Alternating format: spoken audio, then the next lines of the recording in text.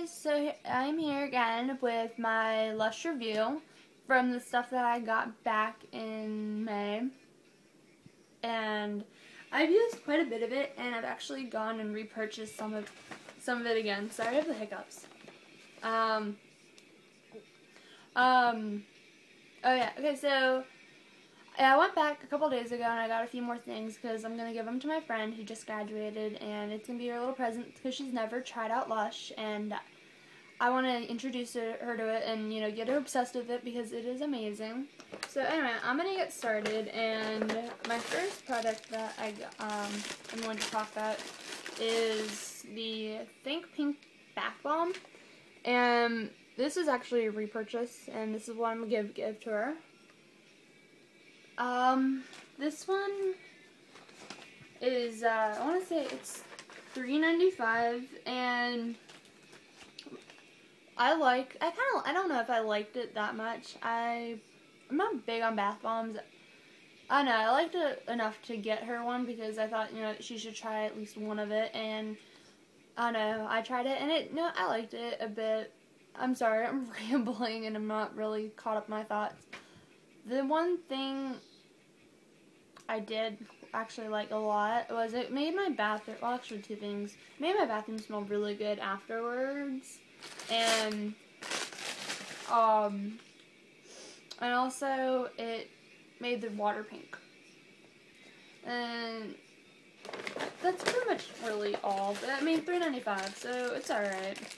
The next thing is the creamy candy. Oh, crap, it is rumbling all over the place. Um, another repurchase. My This one's crumbling. Uh-oh. Oh, well, it's going to end up crumbling anyway. This is the Creamy Candy Bath Bomb Bubble Bar.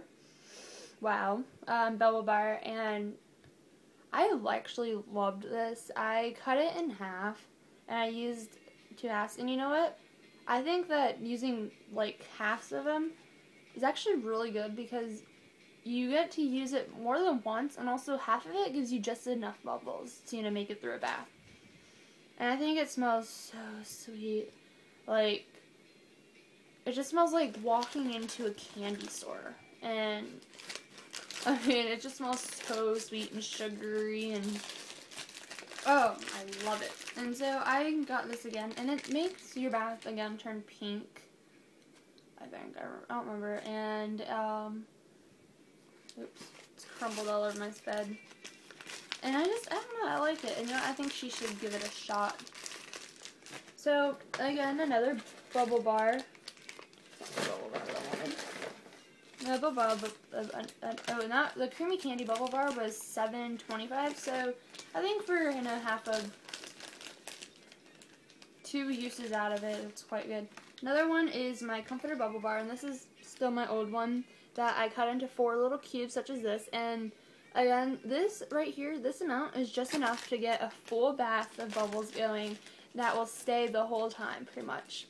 And I actually kind of like I really like the comforter bubble bar. I believe that it has become one of my new favorite products. Um, the one thing I don't like about it is when you're like draining your water, like after you crumble it all up and you take your bath, when you're draining your water and you come back, you realize that like it leaves a line with some residue of like pink that doesn't that didn't get crumbled that still melted and just settled to the bottom.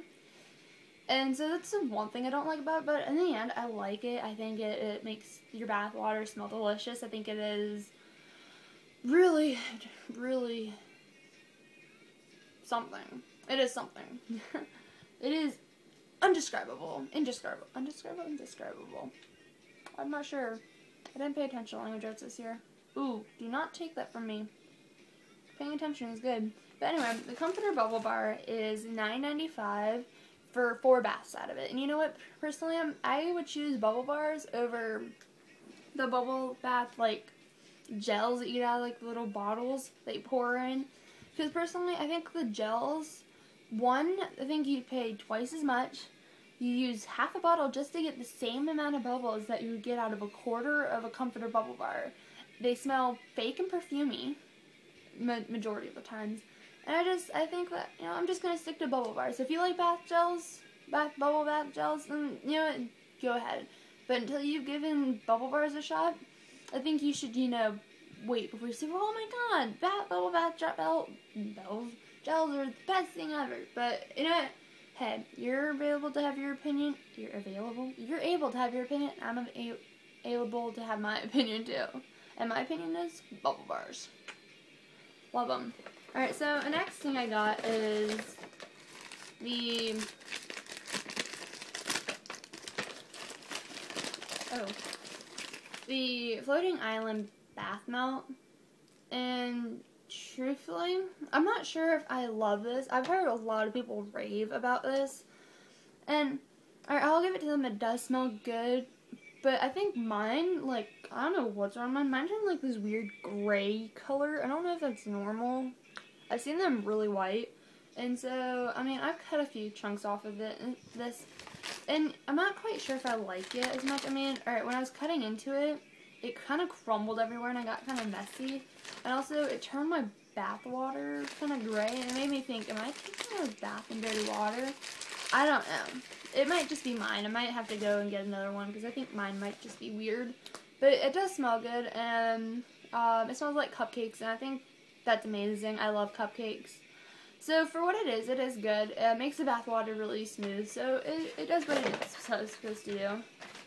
And for a floating island bath melt, it is only $7.95. And I've used that like three or four times. So, well, actually, never mind. I've used that two times, actually. Two or three. Okay, and my other bath melt that I got was the Happy Blooming bath melt, and it was $6.95, and I cut a chunk of it right here off and just threw it in my bathtub. And I like this one a bit more than the um, Floating Island, mainly because when I cut into it, it wasn't as messy. It was just one, you know, swift cut. And also, it didn't, it turned my bathwater pink, and it just, like, melted, and it felt so smooth against, like, I would just pick it up and rub it against my skin, and it felt so smooth. I don't know, I just, I, I think I prefer this one, and it smells like cherries, and I, I'm more of a fruity person than, like, the vanilla-y, cupcakey smell. I'm more of a fruity, like, scented kind of person. And then, the next thing I got, my last thing I got, actually, and this, oh my god, this right here is by far my favorite, favorite, favorite. And you know, you always have to save the favorites for last. Well, the best for last, anyway. This is the Godmother soap. And I bought a chunk about, I don't know where I cut off, but like that big or so. And I cut that part of it off for my trip to state for the tournament. And I, I love this.